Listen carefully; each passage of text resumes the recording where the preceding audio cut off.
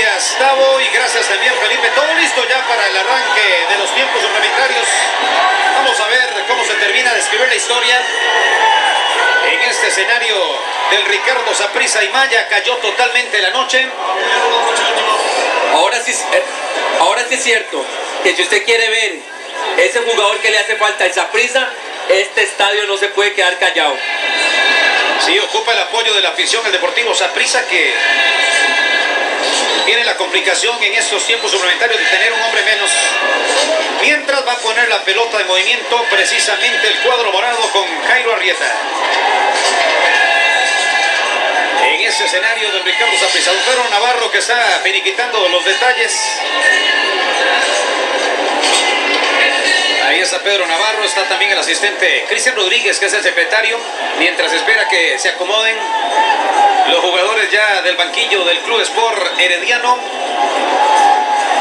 Y ya se, se ordena todo, don Cristian Rodríguez lo está haciendo ahí con los del banquillo de Herediano, ya los de están debidamente acomodados. Y se va a mantener eh, Barrantes de central por la izquierda, con Jaikel Medina de central por la derecha.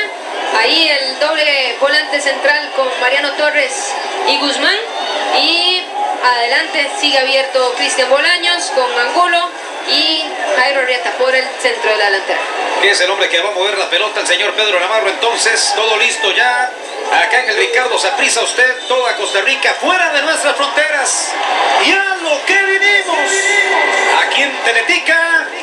es prisa y es Herediano en estos primeros minutos.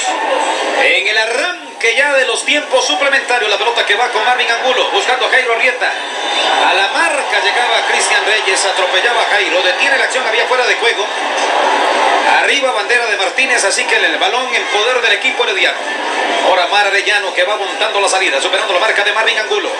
Sigue Arellano, Angulo por detrás, le comete falta y va a ser del equipo rojo amarillo. Ahora dejó la pelota para Gerardo Lugo. Robó Mariano Torres, quitó la pelota Mariano, la tiene el argentino, se la pide Arrieta, que se va moviendo, buscó con Bolaños, entregando con Cristian, medio campo, pasando frontera el Zaprisa, ahora con Marvin Angulo, marca de Cruz, Guzmán hacia atrás con Jake Medina y Medina ahora dejando para Michael Barrantes, el capitán de Chaprisa. Barrantes arriba para Arrieta, la pelota pasada, dejó continuar. Iba a topar Moreira para recoger en el control. Lionel Moreira ahora en salida con Pablo Salazar. Salazar para Cristian Reyes. Cristian que fue el que metió al Herediano en estos tiempos adicionales luego del empate. Y ahora va a ser Omar Arellano entregando la pelota otra vez con Cristian Reyes. Salazar. Salazar para Randall Azofeifa. Lleva la pelota Randall. Se mueve Randall buscando filtrar. No se entendieron la comunicación no es fluida ni con Junior ni con Jimmy. Y el balón viaja al movimiento de meta que va a cobrar Kevin Briseño. Y el drama de los tiempos extra no puede ser otro si no está el Herediano metido de por medio. Diez veces las finales del fútbol de Costa Rica se han ido a tiempos extra. De esas diez veces, Herediano ha sido protagonista en nueve ocasiones de esas diez oportunidades para el cuadro que. De hecho, de esas nueve ocasiones, solamente una se resolvieron en los tiempos suplementarios y fue precisamente en la serie final contra la Liga Deportiva La En el eh, torneo 2012 que se resolvió con un gol de Álvaro Sánchez en el tiempo extra. Además, todas terminaron en los lanzamientos desde el punto de penal.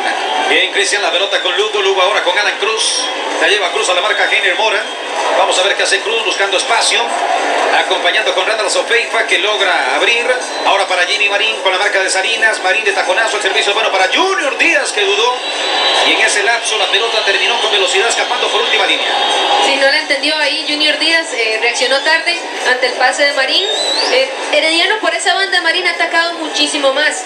Porque por la banda donde está Alan Cruz, realmente no sé si Rolando concuerda conmigo. Creo que poner a Alan Cruz por la banda ha disminuido su juego y se ha visto muy poco en la final. Se ha visto muy poco. Creo que le está costando más jugar por, por el costado.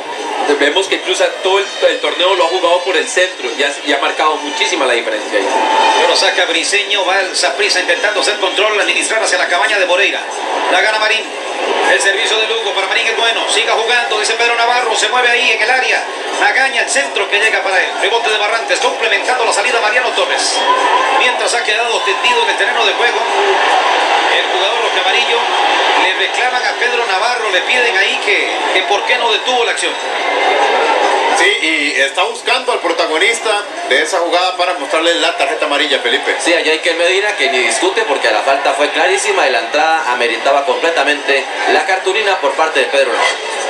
Puse la tarjeta amarilla sobre Jake Medina. Aquí está la reiteración de la jugada sobre Lugo. Muy fuerte la jugada de Medina. Y aún así le salió del pase al mexicano que terminaba cayendo. Se ganó la tarjeta preventiva. Ahí lo tienen en pantalla Jake Medina. Ya son cuatro minutos. Aquí en su Teletica Canal 7, siempre con usted y con la gran final del torneo. Y recuerde que hoy estaremos con un ambientazo, una fiesta enorme en el Chinamo. Hoy termina el Chinamo, es el último de este año 2018 y ha sido cumpleaños también 18 años de llevar alegría y emoción y fiesta durante el fin de año a todo el país con el Chinamo de Teletica. Ahora Mariano Torres largo, Arrieta pegó la pelota, llega Junior Díaz, reventando fuerte Junior, intenta Lugo, el balón no escapa, ahora la esconde para organizar salida. Michael Barrantes se la dejaba Mariano, Jake Medina, presión de Lugo, de cabeza abriendo Arrieta, Bolaño la baja, la pechea, la pone sobre grana. Intenta sacar la marcación de Junior, que le comete falta, tiro libre. Llegar balón, suponemos, colgado al área en favor de Deportivo Saprissa Mónica. Y ahora que Saprissa tiene un jugador menos, es importantísimo la táctica, fíjate, de poder sacarle provecho a este tipo de jugadas, ya que eh, de, con un jugador menos es menos eh, el volumen de juego que puede hacer, así que este tipo de jugadas podrían marcar la diferencia. Va a cobrarse movimiento en favor del Saprissa en el área, aparece por ahí Bolaños, viene el centro, José Salinas, el toque para... La pelota revienta en el paral, pero ya estaba también la manera arriba cuando llegaba Jaime Arrieta. Y no cuenta, la acción estaba metido en fuera de juego. Saprissa va a entender su juego en este momento de que va a ser un juego muy directo, ¿ah? buscando a Jairo principalmente y esto, buscar las faltas para poder sacarle mucho provecho a ellos. Ahí estaba la acción, salía adelantado Arrieta cuando venía el trazo de, de la pelota que cerraba en diagonal con Comba. Y ahora atrás el guardameta briseño, seis minutos en este primer tiempo adicional. Kevin buscando a Mariano. El argentino al frente, regalan con Arellano. Arellano deja para Randall que la pone abajo sobre Ras de Zacate. Buscó la apertura, lo hace bien para Jimmy Marín. Vamos a ver qué hace Marín con Yossi. ¿Quién gana la partida? Una más. Marín se acomoda, saca disparo, desvío en la trayectoria y la pelota al tiro de esquina. Desde el vértice otra vez se vendrá la acción. Ojo, van a venir más tarjetas ahí. Mariano está en disputa con Lugo y vamos a ver la decisión del árbitro. Tiene que meterse. Uy, un manotazo fuerte ahí. En contra de Randall Sofeifa, si no me equivoco. Sí, me pareció de Jake yo sí vi un manotazo fuerte, no vi de quién, pero sí vi un manotazo fuerte que el que se lo pegó, creo que tendría que irse expulsado. Vamos a ver qué determinación toma Pedro Navarro que se aleja de, de la bronca. Creo, que el árbitro no vio ese manotazo sobre Sofeifa. Sin embargo, la primera jugada creo que sí la tiene clara y va a mostrar tarjeta. Y ahí estábamos viendo también, eh, compañeros, en repetición, el contacto que hace Gerardo Lugo en la cabeza, ¿verdad? De, Mariano lo pega antes, pega antes eh, a Lugo y Lugo va y le reclama con eso. y luego la acción de Mariano. Mariano es el que le Randall saca el Sofeifa. codo a Sofeifa. A Sofeifa, es correcto, ahí se veía la repetición. Y vamos a ver qué determina Pedro Navarro. Ya el partido tramita 7 con 40, pero se ha perdido mucho también en ese primer tiempo suplementario. Está hablando con sus asistentes por el sistema de comunicación. Sí, pero difícilmente el cuarto árbitro vio algo, ¿verdad? Desde aquí es muy difícil. Sí, cre- creo que la segunda jugada sí la pudo haber visto el cuarto árbitro. Y ahí va también a recibir la ayuda de su asistente número uno. de Octavio Cara, mientras le solicita a los jugadores que se alejen para tomar determinación, Pedro Navarro, el árbitro del juego. Le complican el partido a Pedro Navarro, ¿verdad? Los mismos jugadores que... El partido se complica por los jugadores, no por los árbitros. Exactamente. Le complican el partido a Pedro Navarro. En lugar de dedicarse a lo que tienen que llegar a la cancha. Y va a haber tarjetas. Denos cuenta, Tavo y Felipe. abajo. Está llamando a Lugo y a Mariano también, amarilla para los dos. Perfecto, no pasa más. Ahí se va con tarjeta amarilla Mariano Torres. Salomónico, ¿verdad? simplemente. Y también el jugador del equipo herediano, Gerardo Lugo, así que no pasa más, no tenían preventivas. Va a continuar la acción. Se pierde tiempo, se No, frena el pero ahí sigue Lugo buscando a, a Mariano y las cosas no se tranquilizan del todo, pero se va a reanudar el partido. Y va a cobrar tiro de esquina entonces el equipo rojo amarillo. La posibilidad, el cobro de Randall Sofeifa, movimiento en el área. Se repliega el Saprisa. Herediano busca el que le dé el título. Vamos a ver qué pasa. Cobro de Azofeifa. La pelota va cerrando arriba Oscar Esteban. Y el balón al saque de puerta. ¿Y ahí cuánto tiempo se perdió Dani? Tres, tres, cuatro minutos. Me parece que eso beneficia al Saprissa, que es el equipo que tiene un jugador menos dentro del terreno de juego eh, y que está pues contra las cuerdas en este tiempo, tiempo extra, porque para Herediano yo creo que tiene con qué ir a buscar el partido porque creo Rolando, no sé si, si concordás conmigo, pero ahí en el centro del campo es donde Heredia tiene que, sacar la diferencia. Ahorita solo está Guzmán y, y Mariano Torres y ahí es donde Heredia tiene que poner la bola en el piso y jugar. Se dicen que las finales se ganan. Y de alguna manera usted no no, no es lo que juegue, pero en este momento Herediano tiene que salir a jugar con ese hombre de más y tiene que hacerlo pesar. Pero en este momento, a como lo está llevando Zapisa el juego, esto es a favor del Zapisa. Bien botando la pelota, Jekyll Medina llegó a enviar afuera de manos para el equipo roque amarillo con Jimmy Marín. Marín pone la pelota en movimiento con Lugo, otra vez con Jimmy. ¿Qué hace Marín? Sostiene la individual. Justin Salinas se cruza y vuelve a botar la pelota en lateral derecho del equipo Saprissa. Y ahora deja Jimmy Marín para que se encargue Junior Díaz, que es el hombre que por esa banda tiene el check para hacer saque de bandas. Además lo llega ahí los balones al área, lo pone a pelear. Se mueve Lugo y se mueve Magaña. Precisamente va con Lugo. En los 16.50. Lugo intenta salir. Recorte de Medina. Azofeifa se interpone, recuperando esa prisa ahora que va a matar la contra. El servicio es para Jairo Arrieta con la marca de Pablo Salazar. Corre Arrieta en solitario, sus ingenieros de frente. Tiene que aplicar el freno para buscar a compañía. Ahora como Bolaños. Cristian vuelve a dejar otra vez con Arrieta. Se quedó metido Jairo Arrieta, bandera arriba. La intención era buena, pero Bolaños le devolvía el balón a Arrieta que estaba en mala posición.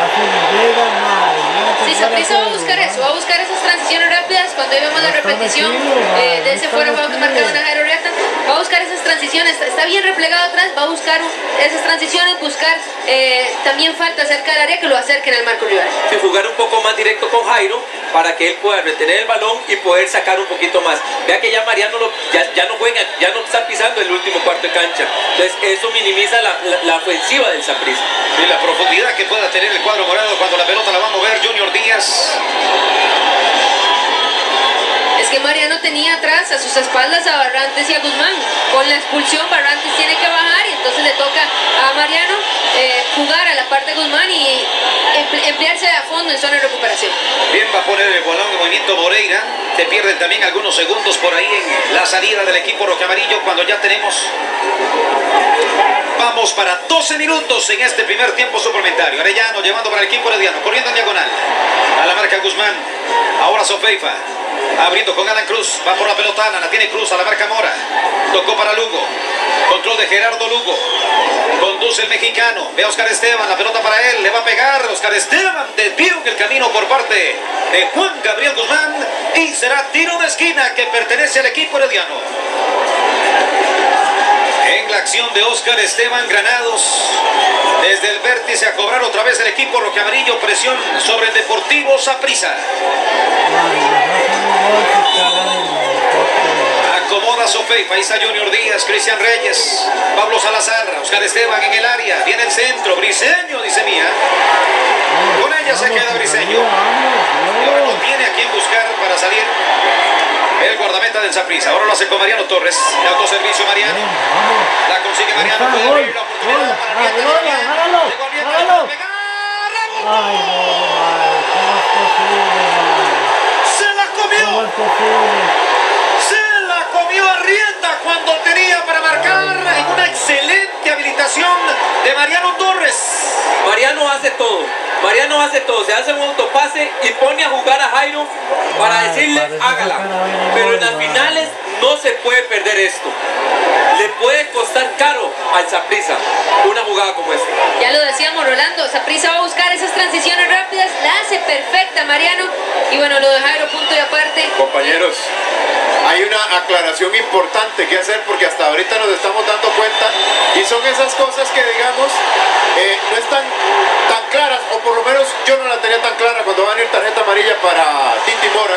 Sí, ahí está que le reclaman, le siguen reclamando los jugadores del Saprissa y ahí está la tarjeta amarilla para el lateral número 6. Eh, el asunto- le voy a decir, Gustavo, ni siquiera en el Saprissa tenían claro el tema. No, no, ni los de Nadie lo ni los de. Heredia. Nadie lo tenía claro. ¿Qué es lo que no tenían claro? Que aquí no hay cuarto cambio. Porque había cuarto cambio, según explica competición por medio de los comisionados de una FUT en la final. Pero esta está catalogada como la gran La gran final. final. Y por lo tanto aquí no Sandoval. Eso es un chiste lo que usted nos está contando. Bueno, yo creía que sí, porque a mí viene Marcelo Manuel a decirme cómo puede ser que no permitan el cambio y, y reclama. Creo que justamente el preparador físico del Herediano, y creo que en Saprissa tampoco sabían, me voy a consultarle al comisionado de una FUT y me doy cuenta que a él le dijeron en competición que esta es una gran final y que aquí no hay cuarto cambio. Si aquí sale lesionado Arellano, que van a atenderlo fuera de la cancha, a ver qué tan seria es la situación del jugador de Herediano, porque ahora Gustavo, sin el cuarto cambio, podría quedarse con 10 jugadores el conjunto Florencio. O sea, eso es como que en la Copa del Mundo nos hubiesen dicho, hay cuarto cambio en octavos de final, en semifinales y en, y en cuartos de final, pero en la gran final no hay un cuarto cambio en caso de que se vayan a, a tiempo extra. Es, es de chiste. Este ¿verdad? detalle, Increíble, ¿eh? este detalle minimiza una vez más y pone que nosotros todavía no somos un fútbol profesional. Y ahora cobra Solfeifa, va el equipo herediano, la pelota alargada al segundo palo, la va a buscar en recuperación otra vez el equipo Roque Amarillo. La consigue. Y ahora Jimmy Marín se va a acomodar. Impacta Marín, desvío en el camino, la pelota se va. Y el árbitro central, el señor Pedro Navarro, determina al final de estos primeros 15 minutos suplementarios. Inmediatamente viene el cambio de cancha, nada más para que continúe la acción Gustavo y Felipe. Gustavo, hay que estar atento porque aquí está lesionado Arellano y en el otro costado le están dando atención a otro futbolista de Heredia que parece tiene problemas físicos. que